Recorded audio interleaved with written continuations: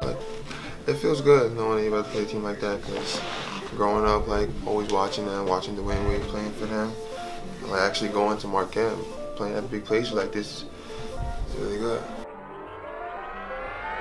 Uh, I just, I try to tune it out, but I just uh, talk to people on, on like, talk to people on FaceTime and just listen to music and uh, just go through a daily routine that you'll see. Crazy. Good. Appreciate it.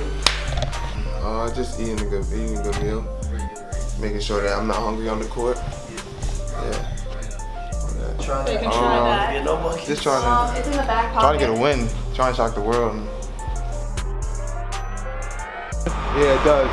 'Cause She give me advice, even though she always picks on me, but she always like tells me what to do and not to do and how to keep my head and all that stuff.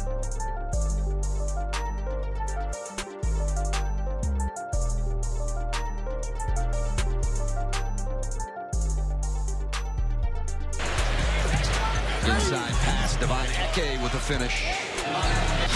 Ah! I don't know, just laugh, just make sure I'm having fun. Play today.